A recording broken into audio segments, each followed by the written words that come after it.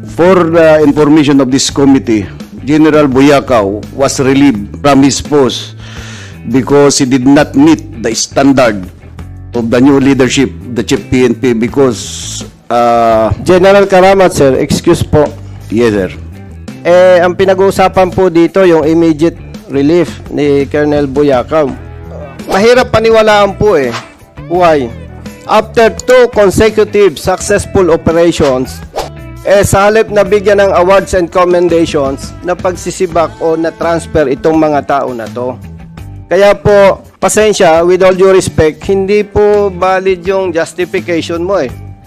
Bakit kadami naman ng matatransfer o masisibak, bakit sila pa after the operations? Will you allow Co- Congressman Acop to uh, interject? Yes, Mr. Chair, kailangan ko ng backup na general. Okay, before before I recognize Congress uh, General Acop, ano, uh, I still cannot comprehend that after a successful operation of those personnel and after a week marerelieve sila. Alam natin na sa PNP, orders are given by higher authorities. Was the order given verbally or uh, documented? Ah, yes, Mr. Chair. When I was the OIC... Ano nga, dalawa lang pagpipilian mo eh. Paiwas ka kagad eh. Do not be a lawyer here. Alam kong abogado ka eh. Pero ang tanong ko lang sa iyo, ano, verbal o written yung order na binigay sa iyo for you to issue orders to transfer Colonel Buyakaw? So, apat lang yung opisyal na superior mo. Sino kaya sa apat ang nagbigay ng order sa tao mo? Hindi naman pwede siguro yung TCDS. Hindi siguro yung DCO. Kasi hindi niya domain yun eh. Pwede siguro yung DCA at saka si Chief PNP lang ang kumausap. Di ba? Alam naman natin yun eh. Pagsisinungalingan niyo pa ako eh. Galing ako dyan. Believe din ako sa'yo. Pinagtatakpan mo yung boss mo eh. Sino ba Chief PNP nun? The current Chief PNP now, Mr. Chair. Bakit? General uh, Romel Marbil, Mr. Chair. Si General Marvel. O pinagtatakpan mo. O naman no. Ang tagal natin sa serbisyo. Pinagbubulan mo pa ako. Mr. Chair, during the last hearing, nabanggit po ni ASEC PAOK, General Cruz, na sa likod po ng illegal pogos, merong kidnappings, killings, torture, prostitutions, love scam, and etc. Ang kagandahan lang po ngayon, Mr. Chair, may pronouncement ng ating Pangulo para sa total ban ng pogos. Meaning, parang nakikita po natin wala nang dapat ikatakot yung ating law enforcement personnel. However, Mr. Chair, during, during the last hearing also, we found out na may mga police personnel ang CIDG na nag-operate, positive ang resulta, nagsampa sila ng kaso, so mahina na ang kaso ngayon dahil pinagsisibak, pinagtatapon yung mga operatiba kung saan saang lugar, kung saan sa reassignment. Kaya napakahalaga po, Mr. Chair, malaman natin ano ba talaga nangyari doon sa police personnel na nagtrabaho, minalas pa. Mr. Chair, with respect to uh, General Karamat, then CIDG Director, meron po tayong kopya dito. Termination of designation of uh, Police Colonel Buyakaw. Siya po ang dating Regional Chief ng RFU NCR CIDG.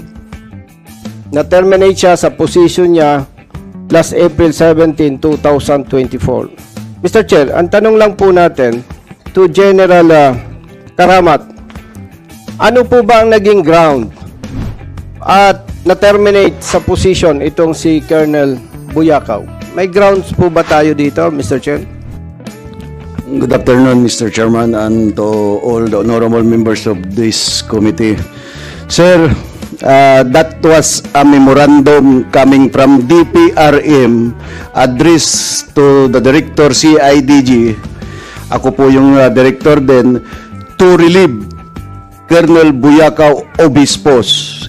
In short, I was not the one who caused the relief of Colonel Buyakaw as insinuated by anybody that nirelieve ko siya dahil doon sa pag-operate niya doon sa Pugo in Banban. I was just following orders coming from national headquarters. So I implemented that memorandum coming from DPRM to relieve Colonel Buyakaw. Yung mga sinasabing na wipe out, yung mga personnel niya nakasama doon sa operation sa Bamban, some of those personnel, when Colonel Buyakaw was relieved of his post, some of his officers and men personally requested to be transferred. Alam naman natin na kapag bago ang boss, iba na gusto nila sumunod doon sa boss or they ask for the transfer. So in short, and simple language, hindi po ako nagpa-relieve kay Colonel Buyakaw and others. Thank you, Your Honor. General Bakay, sir. Nabasa ko po, ikaw yung signatory doon sa instruction, sa directive to uh, relieve uh, Colonel uh, Buyakaw from his post as uh, Regional Chief and CRCIDG. Ano po ba yon? May nag-utos po ba sa inyo? Or merong board resolution? Mr. Chair, uh, magandang hapon po sa atin lahat, Mr. Chair. Uh, and to the honorable members of this committee and other resource persons. Mr. Chair, when I, uh, I am the signatory of that uh, memorandum directed to the Director of uh, CIDG in my capacity as the officer in charge of Directorate for Personnel and Records Management. I am now with the uh, Directorate for Investigation and Detective Management, Mr. Chair. The orders given to uh, classmate General Karamat sir came from uh, the higher uh, ups. In short and simple language, Mr. Chair, was just following orders to implement the, uh, to give orders to, for the relief of Colonel Buyakan, Mr. Chair. In other words, Mr. Chair, naglabas ng memorandum si General Bakay, then assigned DPRM in compliance with the instruction of another senior officer. Am I right, General Bakay? Opo, Mr. Chair. Yung po bang instruction na yan, General Bakay, sir, is it verbal or written? I cannot say, Mr. Chair, because uh, the memorandum came in my table for it to be signed already in that uh, form. If I may ask yung uh, staff who prepared it from that section, Mr. Chair, if the uh, order was written or verbally. Uh, I am not Mr. uh, Chair. of possession of that knowledge, Mr. Chair. Mr. Chair, pag ikaw ang head of office, especially third level police commission officer, itong si Colonel Buyakaw, hindi ka basta peperma eh. Are you telling us na pagdating sa table mo, perma ka lang? No. Tama po ba? Uh, it is assumed, Mr. Chair, when uh, these types of uh, orders are given to. DPRM, it is Mr. passed Chair. through the command group. Mr. Uh, okay, uh, the Congressman, resource uh, person is not answering the question Yes. of uh, the Honorable Busita appropriately. Yes, Mr. Chair. we, uh, we will be reminding the resource speaker to answer directly the question. Kasi ang uh, tanong naman po ay uh, napaka-simple lang and uh, even uh, our uh, members who are here can answer it directly. So, be truthful, uh, General Bakay, please. Please reply to the query of uh, Congressman Busita. Ano po ba yung instruction? Direct sa'yo or dumaan sa staff po ninyo? Dumaan po si staff namin, Okay, Mr. Chair. Mr. Chair, nandyan po ba yung concerned staff? Not present, Mr. Chair. Sino po yon? General Bakay, sir? From our publication section, Mr. Chair, uh, who prepares the memo brings it to me for signature, Mr. Chair. Okay, Mr. Chair, dahil wala po yung ah, concerned staff ni General Bakay and sayang naman yung oras natin, you, as the head of office, ikaw po ba basta pumirma lang doon sa sinasabi mo po ninyong directive?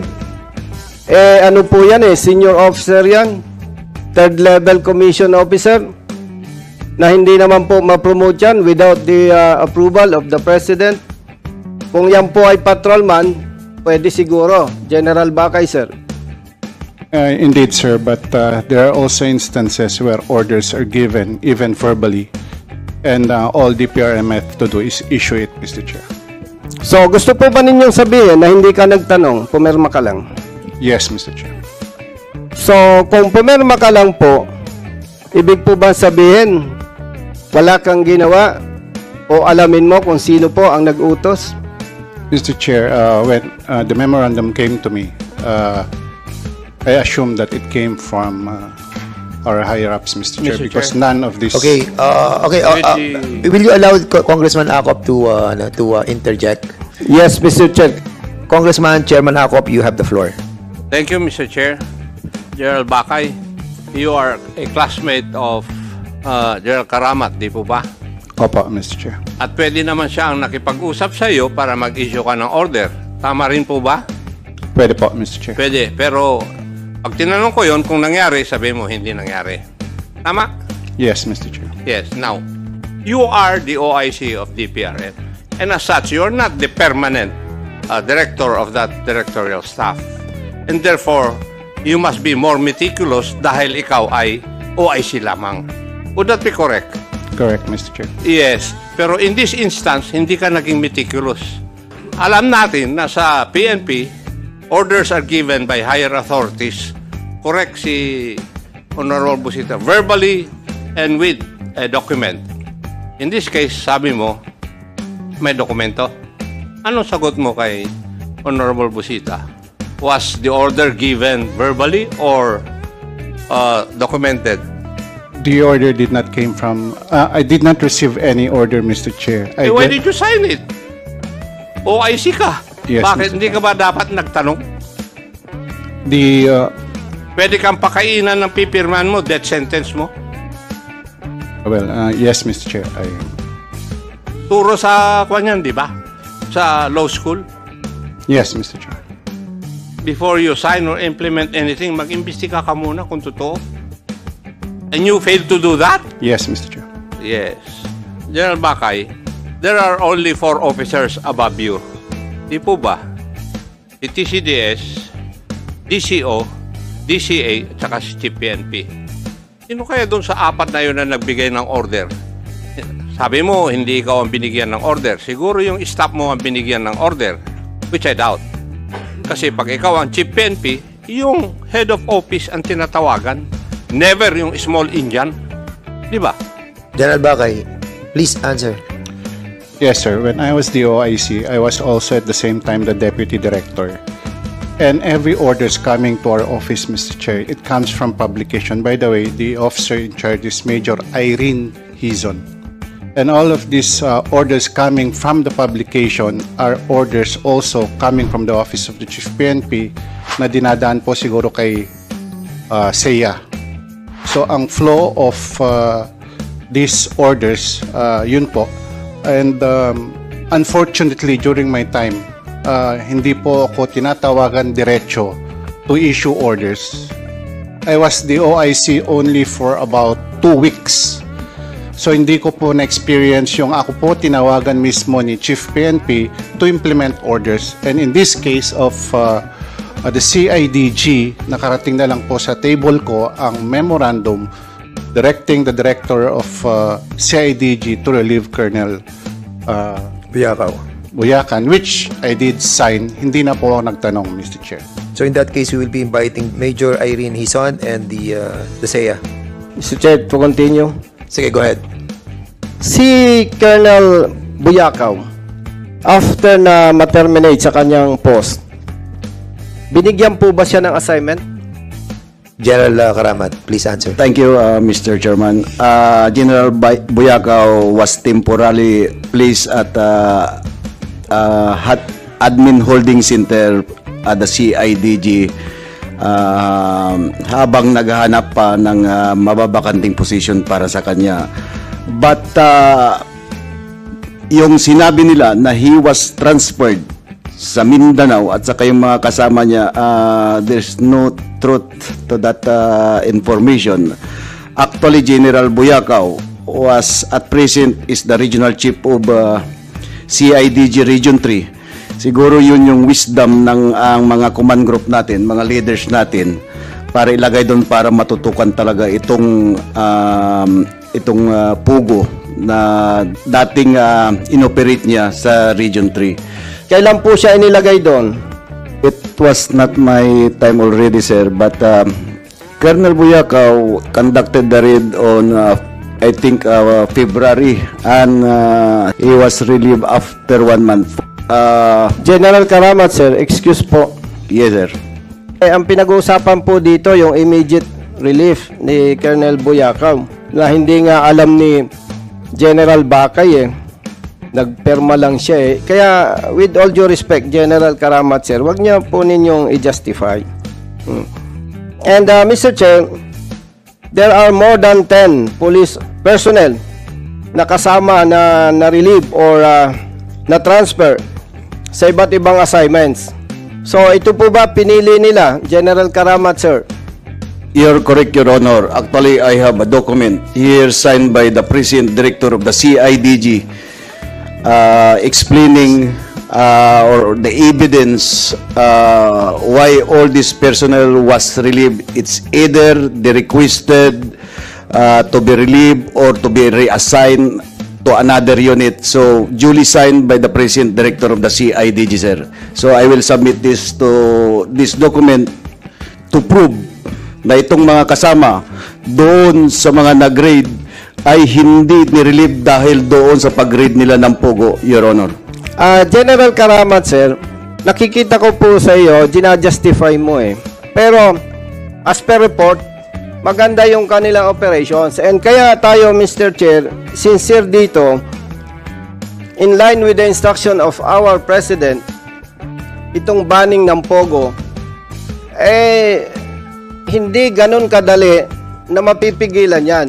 At kung hindi ito mabigyan ng proper attention, Mr. Chair, matatakot na yung police personnel natin. Kaya po, dapat talaga, protection